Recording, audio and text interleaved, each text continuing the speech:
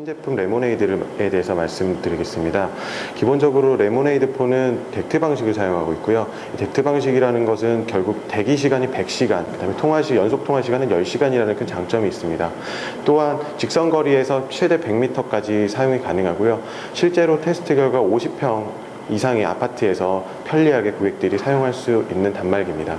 예, 그 다음 장점으로는 2인치 TFT LCD 그 스크린을 제공함으로써 선명도, 그 다음에 칼라도로서 동종의 제품보다는 뛰어난 품질을 가지고 있고요. 그 다음에 마지막으로는 고객에게 친숙한 핸드폰에 들어있는 UI, 핸드폰에 들어있는 어떤 요소들을 다 접목시킴으로써 고객이 쉽게 집에서 전화를 사용할 수 있는 제품으로 최적화시켰습니다. 마지막으로는 편리하게 집에서 문자 메시지를 보낼 수 있도록 천지인 방식을 사용해서 삼성 전화기나 동종의 핸드폰을 사용하던 소비자에게 편리한 인터페이스를 제공한 단말이라고 할 수 있습니다.